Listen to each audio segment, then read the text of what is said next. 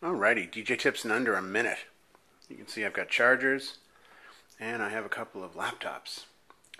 I have a big weekend of weddings ahead of me, so I'm going to charge my laptops today for my weddings tomorrow and Sunday. Yes, I will plug them in at the event. Yes, I will have access to power, but it is a kind of thing I do where I make sure they're at 100% at least a day before.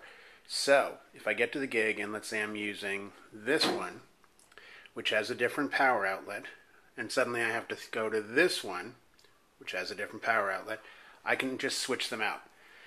It just makes my life easier to be able to switch laptops really quick.